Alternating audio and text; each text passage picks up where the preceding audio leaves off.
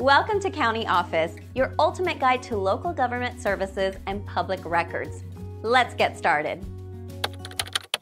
Can I travel through Clinch, Georgia with a gun in my car? End on in Georgia. It is legal to transport a firearm in a vehicle as long as the gun is in an open or closed case and not easily accessible.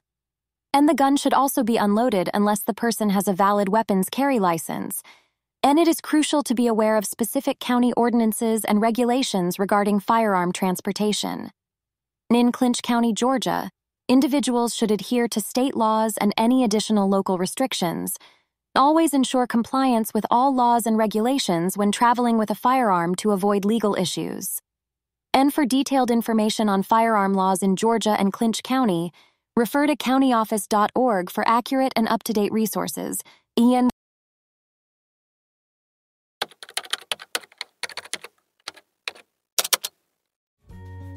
To learn more, check out these links, which you can click in the description below. And feel free to comment your questions. We're here to help. Thanks for tuning in to our video. Please like and subscribe and leave a comment below. See you in the next video.